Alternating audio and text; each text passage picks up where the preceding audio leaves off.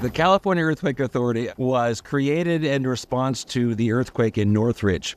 Given the damage from the 1994 Northridge earthquake, it's surprising that only about 13% of California homeowners have earthquake insurance. Now, the state's largest earthquake insurance carrier, the nonprofit California Earthquake Authority, is raising its rates starting January 1st by 6.8% on average. Some people are going to get a decrease and some people are going to get potentially 12%. Who knows? It just depends. That's that's what the overall state average is. Karl Susman is an independent insurance agency broker. He says the reason for the rate increase is more expensive construction costs. Costs of, of reconstruction for homes has been going up every year, not just with inflation, but they've been going up pretty dramatically since 2020. The good news is you can still get earthquake insurance in California from a number of different carriers, unlike wildfire insurance, which is hard to find right now.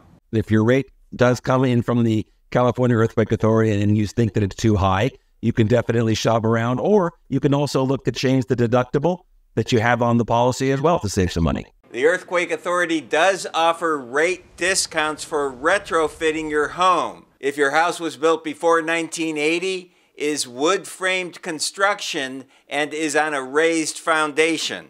Discounts are also available for retrofitted mobile homes if it has an earthquake resistant bracing system and an approved foundation. Homeowners also have the option of dropping earthquake insurance altogether.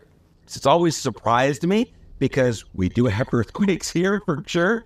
But at this point, they are not mandating earthquake insurance for, for most loans that I'm aware of.